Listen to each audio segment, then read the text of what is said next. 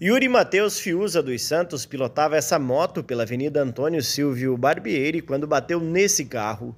O jovem de 18 anos sofreu ferimentos graves, foi atendido por uma equipe dos bombeiros e encaminhado à unidade de pronto atendimento, mas não resistiu e morreu. O corpo dele foi encaminhado ao Instituto Médico Legal e depois liberado aos familiares. O motorista do carro não sofreu ferimentos.